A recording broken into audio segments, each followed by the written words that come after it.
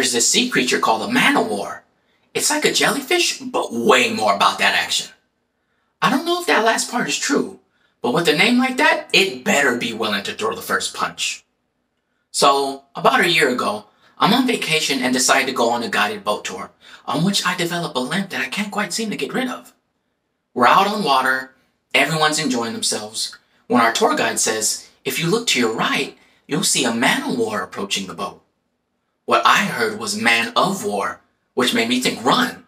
But since we were on water, and my pick and roll skills are way better than my breaststroke, no surprise there, I knew I had no choice but to stand behind everyone else once he starts killing people. I armed myself with a Snapple bottle that I snatched from the lady sitting next to me. I was down for whatever's fool. I looked to my right, left, front, back, unlimited ammo unlocked, but no man of war. All I could see was a group of what seemed to be jellyfish or plastic bags with long shoelaces attached to them.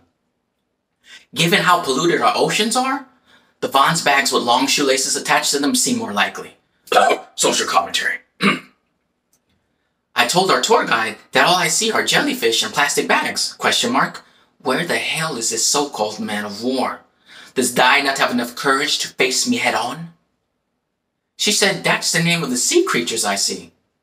I was like, oh. The whole time I was scanning the waves for cartoonish examples of a man of war. Like Colin Powell puffing a cigar on a jet ski while he aims an elephant gun at me. Or a professional gamer with rainbow hair shouting obscenities at me as he floats towards me on an inflatable oversized flamingo.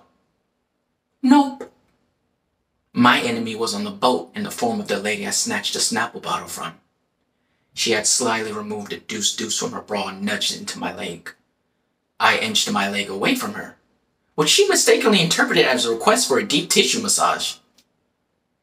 So she plunged the barrel deeper into my quad and started to twist.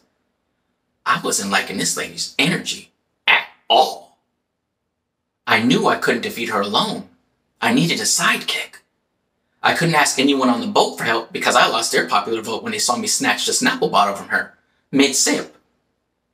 So, my only choice was to rely on my years of improv training.